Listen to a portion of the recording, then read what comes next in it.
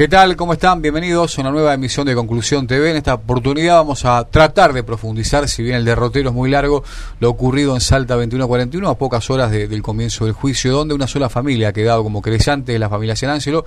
Por eso hemos invitado a Adrián, para que con nosotros, junto a nosotros, podamos un poquito tratar de, de- de clarificar lo que ha sido muy oscuro. ¿Cómo te va, Adrián? Bienvenido. Bien, bueno, muchas gracias por participarnos y hacer visible nuestra causa, esta causa tan noble. ¿Por qué han sido eh, la única familia que ha quedado como querellante en una causa que ha atravesado a todos, la ciudad, la provincia, el país, de lo que ha sido Salta, lo que ha sido verdaderamente una, una tragedia de, de enormes magnitudes? Siempre nos llama la atención, más allá de los aprietes, el poder, lo desgastante, lo desgastante, lo hablábamos fuera de micrófono, pero ¿por qué han quedado ustedes solos en todo esto? Sí, en particular yo, mi familia, siempre hemos sido respetuosos de la contraparte y la contraparte con nosotros. Jamás he sufrido un apriete, ni a una chique, nada. Y le digo la verdad, ¿por qué estamos solos? Eh, yo pienso...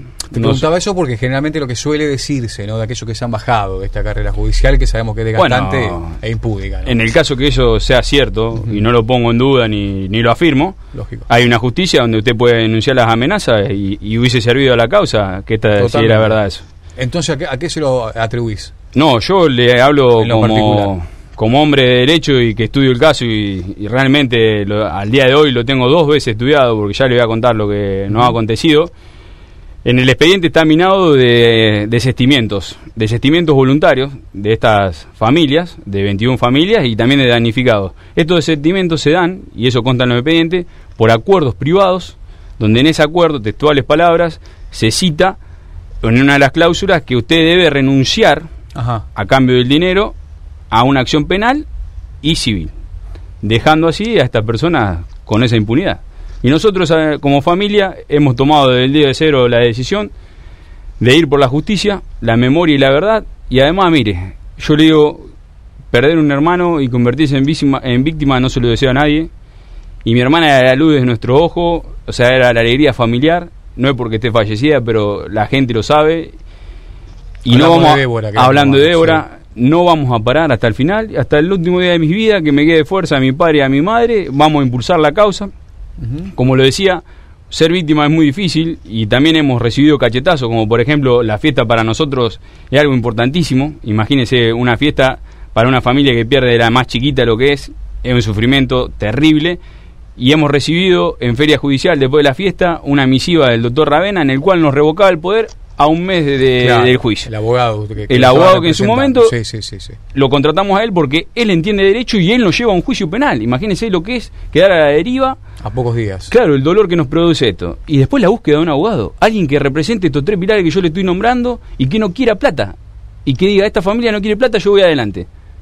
Dígame si usted lo puede encontrar. Bueno, a mí me ha costado muchísimo realmente. Por eso progonamos y rogamos este paradigma de la víctima que estamos tratando de cambiar, que haya más abogados de víctima. Porque aquí los abogados exitosos son los abogados de defensa. Y usted está Sí, plagado de claro. abogados Sí, defensores que son exitosos, que Con defienden lobby, cierta gente parte, claro. probablemente es narcotraficante, de, de delito de lavado de dinero. Pero no vas a escuchar nunca un abogado famoso que defienda a una víctima. Y en este caso es una víctima que es de clase media, que es laburadora. Entonces es muy difícil. O sea que el paradigma es este. Han, han llegado a un arreglo y han bajado la denuncia penal. Cuesta, cuesta creer en lo particular, digamos, cómo abandonar una lucha por justicia cuando eh, tenemos un ser querido involucrado que ha perdido su vida. En el caso tuyo, te ibas, te fuiste a, a- pocos minutos de lo, de lo ocurrido, digamos, lo viviste en carne propia, más allá de perder un familiar. eh, morabas en, en ese lugar, por eso graficarlo eh, o graficar la magnitud de abandonar un caso por dinero, por cualquier cosa, en lo particular cuesta cuesta comprenderlo. Y aparte, habiendo tanta familia. ¿no? Voy a tomar palabras de mi padre. El día que le dije cuando fallece mi hermana a mi padre, ahí adentro. Mi padre me mira y me dice, hijo, con esto a morir, me dice.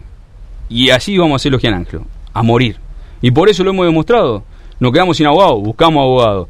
La fiscal nos presenta el sobrecimiento de dos personas, voy, contrarresto ese sobrecimiento y vamos por los 11. O sea, ahora va a haber 11 porque la querella lleva a 11 personas. Si no, la fiscalía imputaba solamente a 9 ahora, 48 horas antes del juicio. O sea, in- esto implica la- ser importante y resaltar la participación de una querella. Por eso a eso yo le voy. Son decisiones personales de las familiares, pero si había más querella, la causa era una punta de flecha más gruesa. No, pero No es lo mismo ser un querellante de clase media que no tiene abogado, que ahora, bueno, en los doctores Rossini vemos en ellos reflejado, lamentablemente hay que decirlo, tienen 20 días para estudiar la causa, estamos sin dormir hace un mes, no damos más, y nos encontramos con un montón de cachetazos en el camino, entonces es muy difícil. En este encono de sombras que me, que me planteas a nivel legal, hay 11 imputados, digamos, ya que procesados, imagino también.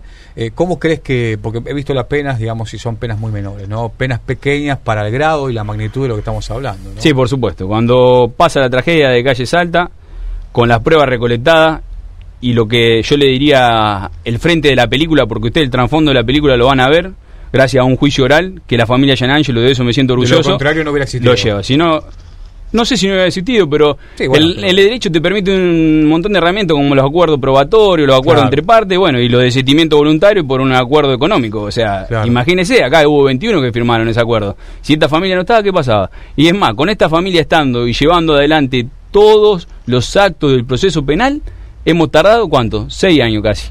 Seis años daría la impresión que todas las enormes movidas que ha habido entre movilizaciones y marchas en el lugar, actos en el lugar, eh, el fin último, que era el más importante, que es el, lógicamente lograr justicia para los culpables, salvo la familia Seráncelo, el resto no mírelo con la óptica que quiere, pero la justicia se hace la justicia se hace frente a un tercero imparcial que ese tercero imparcial habita en un tribunal y para ir a, hacer justicia y condenar a una persona usted se tiene que constituir en un juicio penal. La única forma de constituirse en el juicio penal cuando pasa la, la tragedia de calle Salta es como querellante. No existe otra no cosa. Existe otra cosa. Los responsables máximos, Adrián, para vos, eh, porque si bien hay 11, digamos, ¿cuál es la cadena que podemos marcar de responsabilidad? Como bien vos lo dijiste, cuando nosotros eh, planteamos la querella, que fue la única querella, que fue por todos, y no solamente hice una querella en representación de mi hermana, sino de los 22 que fallecieron ahí y de los damnificados, que porque también nadie los nombres, que son muchos.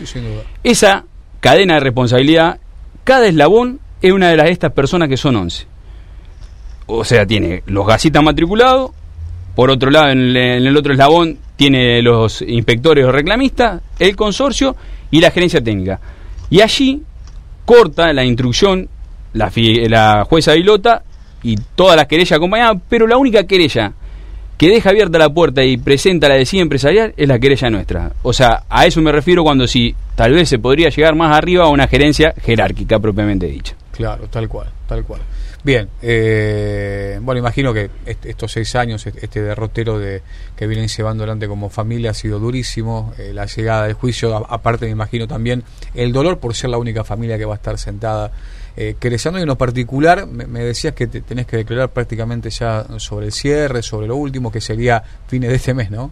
Sí, la defensa, como lo ha demostrado en todo este proceso penal, eh, tiene muchas herramientas bueno, yo soy testigo principal de vista y de oído por todo lo que he vivido allí denunciando anteriormente estas irregularidades, porque era una tragedia evitable. Y después por todo lo que he vivido tratando de rescatar a mi hermana, encontrando a mi hermana, llevándola a mi hermana a mi pueblo, dando una sepultura, volviendo al lugar a tratar de buscar a dos de mis vecinos que no lo encontraban, y toda la familia ha participado de eso. Entonces yo, para mí está muy a flor de piel y es un dolor que nunca me voy a olvidar de eso y lo mínimo me siento no en deuda, porque he hecho todo lo posible. Es más, a esta causa le puedo decir que no solo le puse el cuerpo y, lo económico también, porque nadie va gratis a un proceso penal. Es muy difícil conseguir un abogado, pero los abogados se pagan. Sí, sí, ¿Entiende lo que le digo? Entonces, bueno, yo estoy conforme con mi representación, porque ellos van por los pilares de la verdad, la justicia y la memoria. Pero ellos hacen un trabajo que es, eh, hay que pagarlo, bueno, pero la familia Yanangelo lo ha decidido, como mi papá decía, no solo a morir, y que si no tenemos que quedar en la calle y vamos a barrer la calle para pagar la deuda, lo vamos a hacer. Yo no voy a dejar que la memoria de mi hermana y que la justicia quede impune en este, en este momento. Desde el lado de la defensa, y ya vamos cerrando, Adrián, sé que tenés otros compromisos, eh, a poco ya del comienzo del juicio, eh, la defensa que apunta, eh, digamos, a responsabilizar directamente como, como hilo conductor al gasista, digamos, y a partir de tratar de deslindar responsabilidades al resto, ¿por dónde va eso? Sí, por supuesto. ¿Mm? Los defensores constantemente apuntan a destruir esa cadena que yo le digo de eslabones que están uno agarrado de otro. Seguro. Si usted corta un eslabón, es gráfico, se, se rompe toda la cadena. Entonces, sí, apuntan al gasista que intervino ahí. Pero bueno, ahí está la estrategia y la importancia de la querella y de la fiscalía de demostrar a toda la sociedad cada cuadro de la película y que se vean y sean visibles. Lo más importante que se visibilice la corrupción y la desidia que mata. Seguro. Para cerrar, ya sí, ahora lo último. ¿Esperabas, eh, después de, tanto sufrimiento, tanto dolor, tanta resiliencia, llegar a este momento eh, solos? Digamos, por haber compartido todo este camino con un montón de familiares, con un montón de personas que se fueron sumando, eh, diferentes actores sociales, digamos, los medios también, ¿esperaban llegar solos a esto? Y te digo, esperaban porque lo hacemos grupal y en familia, ¿no? Sí, parecería que a toda la gente le impacta la soledad de una familia buscando justicia. Aparte, pero, por la magnitud del hecho, eso hoy, más allá de todo. Pero, mire, déjeme aclarar una cosa, que si mi hermana, en esa tragedia moría mi hermana sola, yo me iba a comportar de la misma forma, yo y mi familia. Así que no estamos solos, hay un montón de gente alrededor que nos cuida, nos protege. Y también eh, hay 22 personas que físicamente no la tenemos, pero estoy seguro que espiritualmente nos protegen, porque si no, no, la podríamos contar. Si no, yo no estaría así, no estaría preparado para mañana.